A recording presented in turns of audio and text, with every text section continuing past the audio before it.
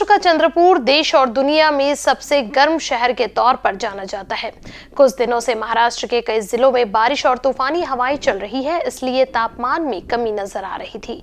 लेकिन अब धूप लगातार बढ़ने लगी है। ऐसे में अप्रैल माह में चंद्रपुर का तापमान उनचालीस दशमलव आठ डिग्री तक आ गया है और जो कि देश में सबसे गर्म तापमान बताया जा रहा है।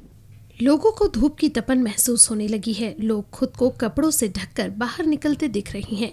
प्रशासन ने भी लोगों को धूप से बचने की हिदायत दी है। जानकारी के मुताबिक चंद्रपुर में तापमान लगातार बढ़ने वाला है और 48 डिग्री तक पहुँच सकता है।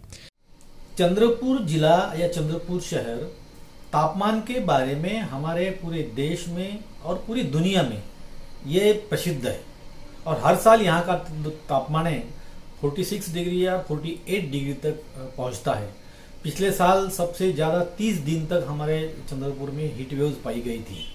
मगर इस साल आकाश में बादल छाने की वजह से यहाँ पिछले एक महीने से यहाँ टेम्परेचर नहीं बढ़ा है। मगर जैसे ही यानी स्पेस या क्लियर हो गया हमारा आकाश तो यहाँ पे फिर फिर से टेम्परेचर बढ़ा और कल का जो तापमान चंद्रपुर का था 41.8 डिग्री यानी 42 के करीब करीब टेम्परेचर था। और ये टेम्परेचर आगे जाके बढ़ने की आशंका हवामान विभाग ने व्यक्त की है। तो नागरिकों ने बढ़ते तापमान के कारण की वजह से सावधानी बरतनी चाहिए और तापमान से बचना चाहिए।